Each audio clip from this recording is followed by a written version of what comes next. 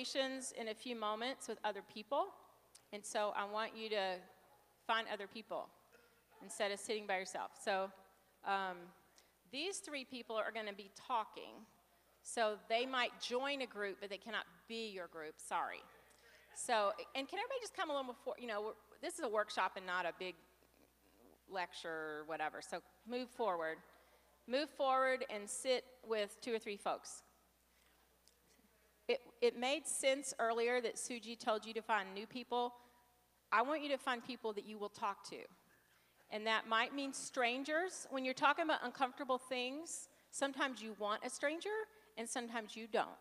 So find someone that you will talk to. You need three or four people together. I know it's a little awkward the way the chairs are. Most of the time, you're going to want to look forward. So if you can just make it work, but turn in. Okay, so here's what's going to happen.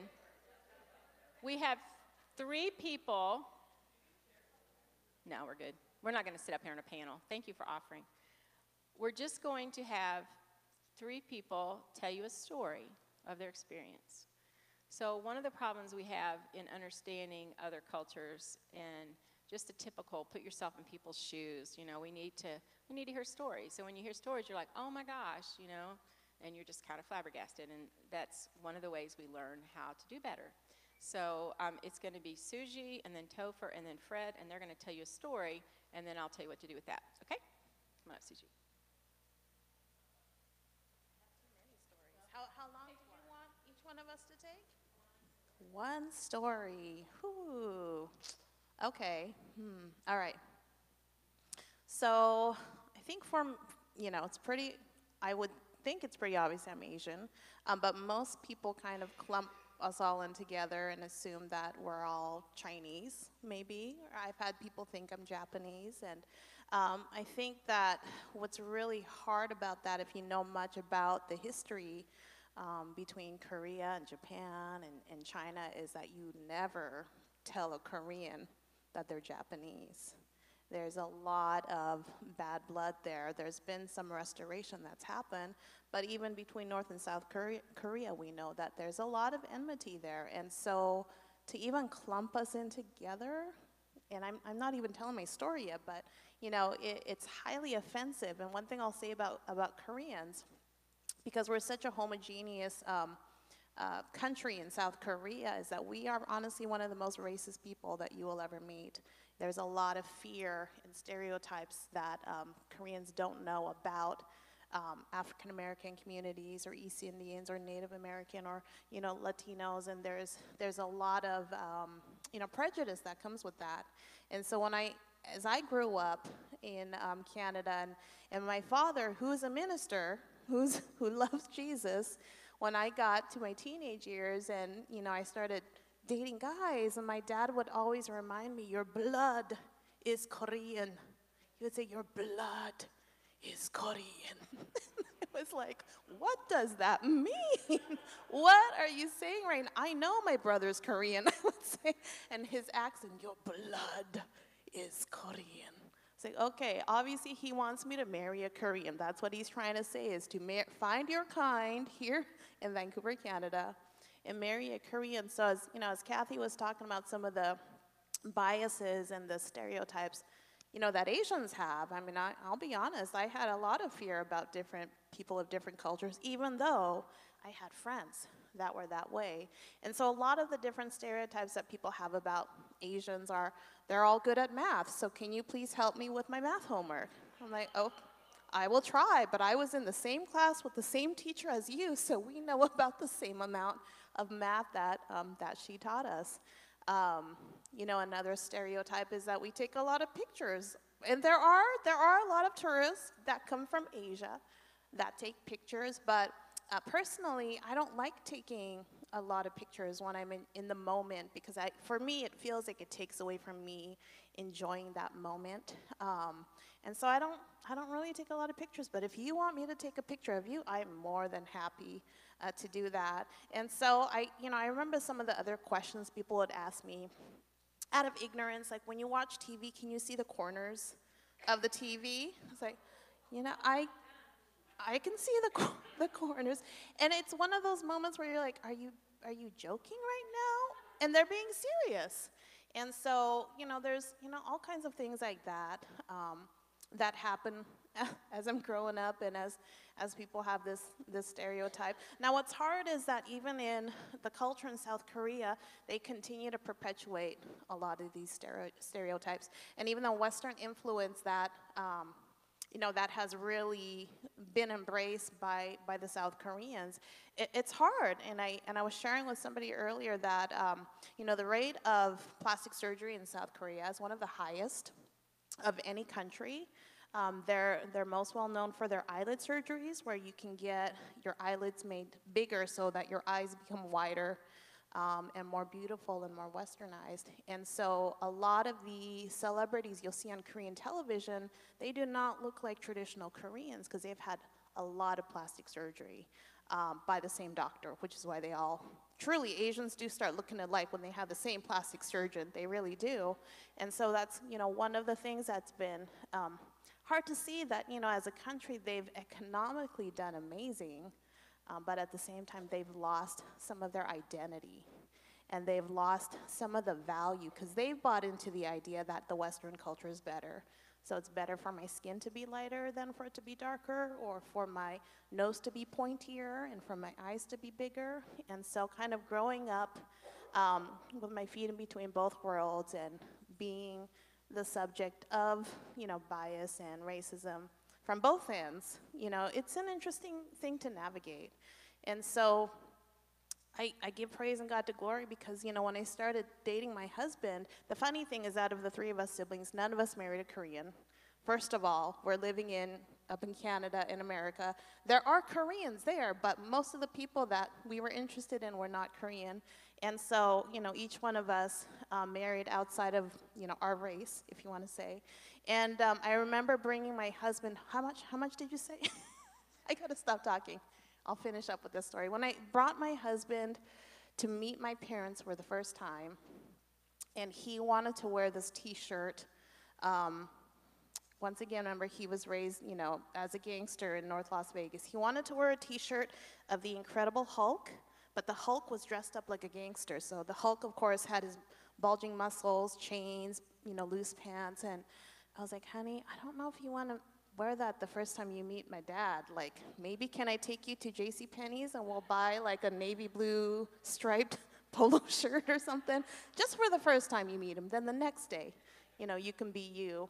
And so I had a lot of apprehension about what would my parents think, because you know, this this was the only guy I ever brought home. I never brought home any of the other guys that I dated. And so I was bringing him home for the first time.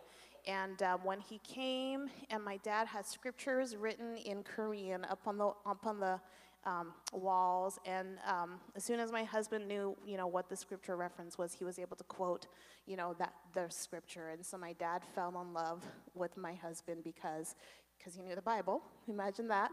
Um, and then as soon as my mom made dinner for us, and she had a huge feast. If you've ever seen a Korean drama, they, they eat a lot of food. And she didn't know what he liked, so she made him salmon, chicken, beef, pork, soup, rice, noodles. She made a feast, and he was a starving, you know, college student, so he ate it all. And so as soon as he ate all of her food, she fell in love with him. And so it was like all that fear and apprehension I had just washed away and they were so accepting of who he was and have loved, you know, loved him to this day as their own son. Um, but yeah, that's kind of five stories rolled into one. So.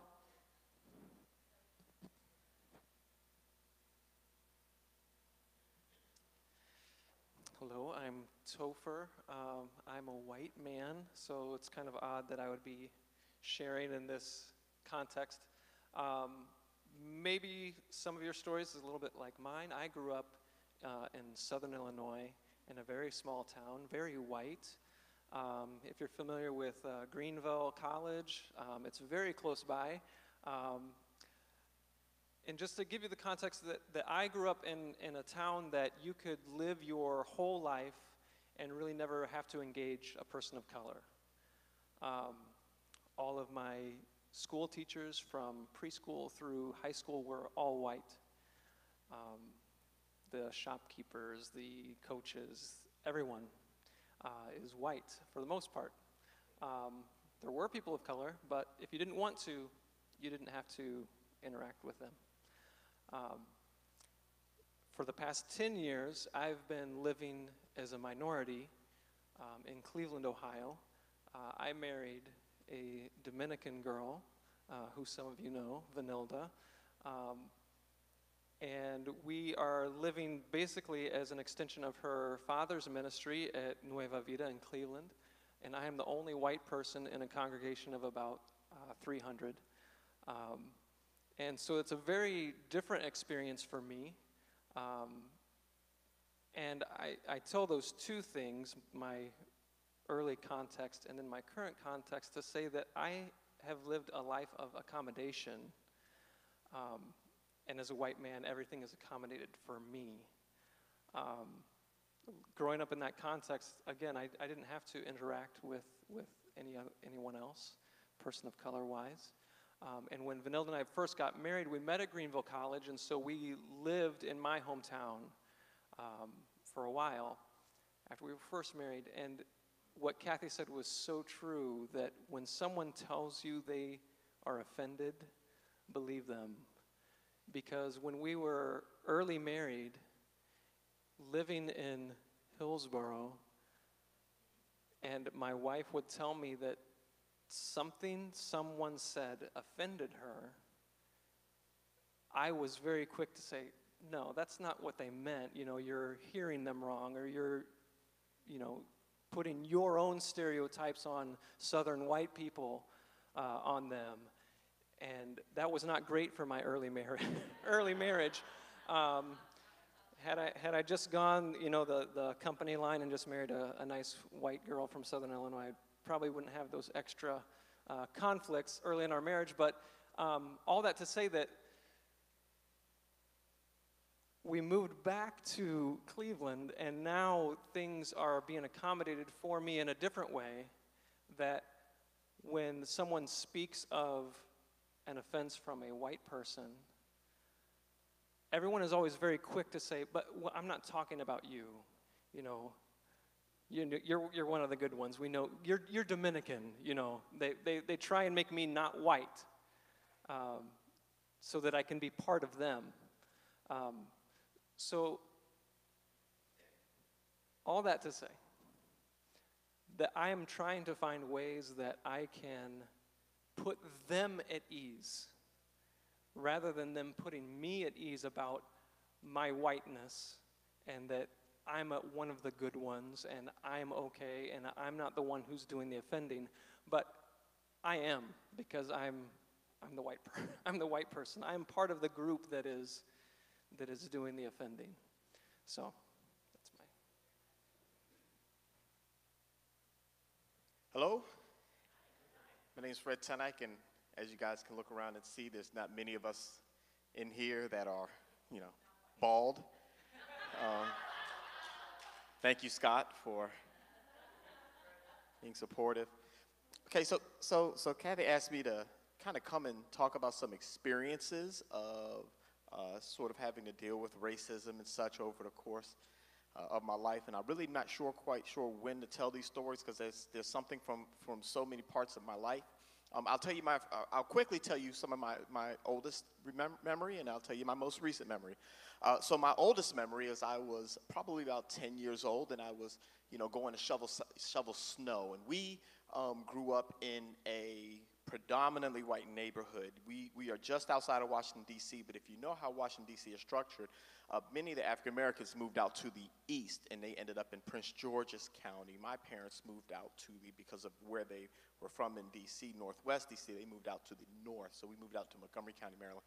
Um, so I was always one of the only one or two African Americans in my class, um, but I had, you know, I just, it was never really much of my childhood in school. I don't have really any school stories about dealing with races or anything. Um, but, but, but, but one time I was uh, probably about nine or 10 years old and, and we were going around to shovel, you know, I was going around and trying to make some money shoveling sidewalks. I'd do the raking the leaves, we do all of this stuff. And this was one of my first times kind of really going out to do this. Um, I was really young and I went across, across the major, across the highway to the neighborhood that was predominantly Jewish. We didn't know. It was just, you know, we just went over there because the nice houses were over there. So if you're going to make some money shoveling sidewalks, you go to those houses. And I go there, and an, and an elderly white woman answers the door, and I say, you know, hello, would you like me to shovel your sidewalk? And she says, well, hold on, let me go ask my husband. She turned around. I don't remember his actual name, but I'm just going to guess. She says, um, uh, uh, Harold, there's this colored boy out here who wants to shovel our snow. Remember just, I was like, colored? Nobody's ever called me colored before. So I just started walking away. And I was angry. I was so mad. And she kind of looks out the door. She says, uh, uh, uh, "Don't you want to? Don't you want to shovel the snow?" And I was like, you know, I, I remember yelling something. I don't remember what it was. Something like, you know, I ain't colored, and I ain't, you know. And I, there's probably some other choice words that came out of my mouth, but I walked away. I was the bigger man, and I walked away. Came back later that night with a rock that went through their window. But that's, but I was at the at the time I was a, I wasn't a, I wasn't saved back then. Um, so, um, my wife and I were moving to the to be closer to the neighborhood where we had planted the church in 2005. So in 2006, we were looking to move, and and uh, we were going around to look at some rental properties. And this realtor had met us at a house that she was uh, listing for rent. And and as she, we get out of the car, see, you got to understand something. My last name is TenEyck. So when you see my name and on an email, you see my name on the top of a resume. I had plenty of job interviews. I didn't get plenty of jobs, but I always got a job interview. Uh, so we get out the car, and you could almost see the kind of shock on her face that here we are trying to rent this house in this white neighborhood. And, and the first thing she says, well, you know, one of the things about this house is that if you don't have a, you know, income of $100,000, then it's really no point in even looking at the house. So we just walked away. Um, my most recent, though, doesn't have to go back years. I can actually go back to last week. My golf partner is a Free Methodist pastor in a predominantly white church, uh, you know, closer to, uh, you know, the, the, area where I sort of live. But, you know, we became friends, and, and uh, he's, he is, uh, he is a, an avid Fox News watcher, but he is my friend. And we go out and we play these golf tournaments, and we go out to, uh, to Pennsylvania. I don't know why, we always end up in Pennsylvania. We're in Maryland, we always drive out a couple hours away to go play in golf tournaments out there. And this was one of the tournaments that I go to that I've gotten accustomed to getting out, and you have a hundred some people there to play golf, and none of them are black. And so I'm like, okay, well, you know, I deal with this all the time, but you know, you're only riding around with the people on your team and stuff and enjoying the day and all. We get to the second hole, and I'm taking a little while to get out of my cart because I didn't finish getting my stuff together. So I'm grabbing my ball marker and make sure I have my divot repair tool. I'm, you know, just kind of getting my stuff together. The golfers might know what I'm talking about. I wasn't really ready. And, and uh, so I catch up to my group a little later, and one of the guys comes out of the group, somebody I have played golf with for the past four years. Um, we, you know, he's, he is a member of that church. And, uh, you know, I like him. And he says, Oh, you just missed what I was telling them. You know, something just, I said something really kind of, you know, really something distasteful yesterday and all. And I was sitting there thinking, Why are you telling me this? I, you know, and he says, you know, because, you know, we were eating dinner and, you know, I said something about the blacks. And I said, hold on. I said, you done changed an adjective into a noun now. And he says, well, you know how sometimes there are some people, you know, some, some black people that just don't make the whole race look bad or something. And I said, it's like that in every race. And my, my partner kind of came and stepped up, kind of said the same thing and all. But, um, but it's just the sort of an, and it wasn't the first experience I had on that golf course because the second experience came when I got around. We got around to one particular hole where usually you don't see the other people. You just kind of, everybody is spread out. But it ended up, we ended up one hole that got backed up. So there were three different teams all waiting at the same hole. So you got six golf carts, about eight people or so, um, and or 12 people, and then somebody else was there's a woman there that was kind of just you know there judging something. You know, it was one of these, whatever. Yeah, non-golfers. You, I know you play golf because you're nodding, but everybody else, I don't know if y'all know what I'm talking about. So I'm not even going to detail. But somebody says something about, oh, I remember, I got something on my phone, and I said, whoa, Antonio Brown is going to the Patriots. Oh, no, no, this time he got cut. I said, Antonio Brown got cut.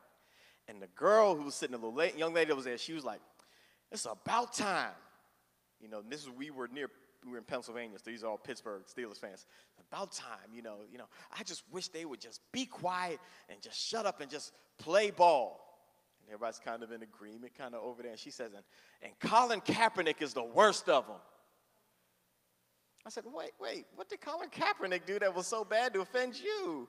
And it begins this conversation, and here I am, one on 11, 12, trying to defend someone who was standing up just for right. It was just, but it was this, this idea of feeling in spaces where you're alone, and that's one of the things that um, that that that is at least something you have to understand about uh, the stranger. Is that the stranger a lot of times is reminded over and over and over again that they're a stranger. And for an African American man, we need no other reminder that we're strangers than to be coming to a free Methodist event, whether it be our annual conference. And my annual conference, Acts 12 24, I can go to our uh, Mind conference, which is it's called something different in other places, right? Um, yeah, it's a regional type thing, but you kind of get there with all the other pastors again, and I can go to my mind conference and be the absolutely only African American male in the place. I can come to my annual conference that I went to this summer and be one of about a dozen African American men that are in the place. And so remember, the stranger's often reminded that they're a stranger. All right. So this could play off of something they just said to you, um, and it's a little bit like the question we were talking about a moment ago. But I want you to talk with a few people. So a couple of you that came in late, find get closer to somebody so you can have a conversation. Three or four people. What do you wish would happen if if this situation happened to you? So I'm just going to leave that up there. Find someone to, to talk to. So you can choose any of